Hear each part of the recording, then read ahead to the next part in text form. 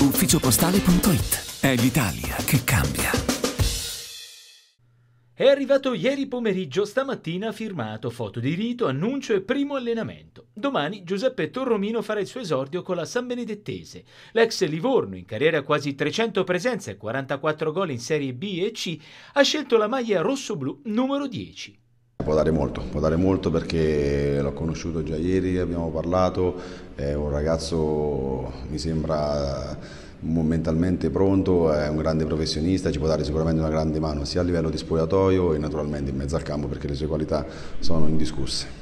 Qualità che Torromino dovrà mettere al servizio di una samba a 13 punti dalla vetta a uno dai play-out e in assoluta emergenza per la trasferta di domani a Vasto Girardi.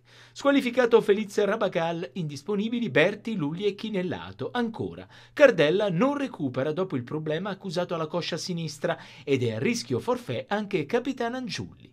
Nel caso, centrocampo inedito con Acunzo e Lander umile adattato. Davanti dovremmo vedere Marras, Vita al centro e Torromino.